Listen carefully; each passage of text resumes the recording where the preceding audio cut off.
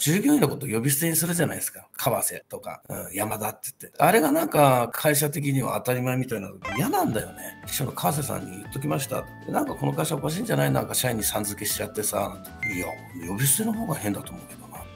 僕はどちらかというと世の中がでやってることが正しいというより世の中のみんながやってること怪しいと思ってるから知ってる皆さん長寿番組って全部最後タイトルした「うん」なドラえもんサザエさん水戸黄門「うん」すごくない？